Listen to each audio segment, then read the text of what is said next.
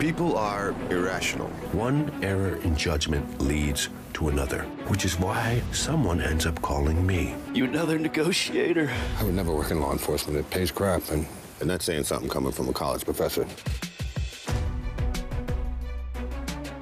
I'm Alec Mercer. Welcome to Applied Psychology. You're the science guy. That's Bill Nye. I'm actually the behavioral science guy. it's your standard procedural with nothing standard about it. Alec has the bonus of being very tuned in on human behavior. How did you know he wasn't going to pull the trigger? It works about 95% of the time.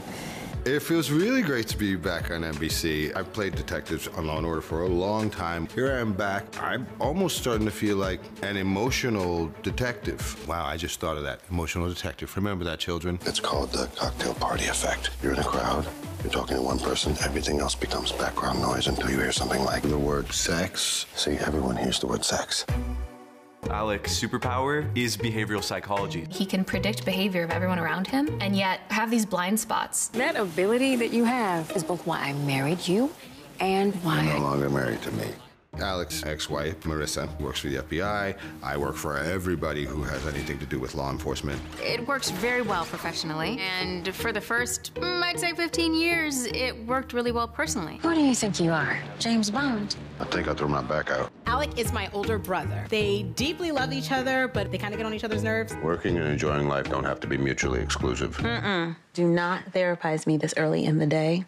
I haven't even had my coffee yet. It's more like she has a very keen eye on how Alec behaves. Are you seriously playing with fire? I was burned once before. The odds of it happening again are very low. The Irrational is about human behavior and psychology. It's fascinating to understand why people do the things they do. That's really the big question to ask. Are you considering all the pros and cons right now? We could talk it through if it helps. If it piques the audience curiosity, honestly, potentially we could change the world. This is where understanding human nature could be helpful. I didn't give up hope. It's a hope that'll kill you. Science says the opposite. Hopefully, I'm really good at being your steward or your host in all of it. Did you really help the Rams win the Super Bowl? Well, that was a risky experiment, but it worked out for them.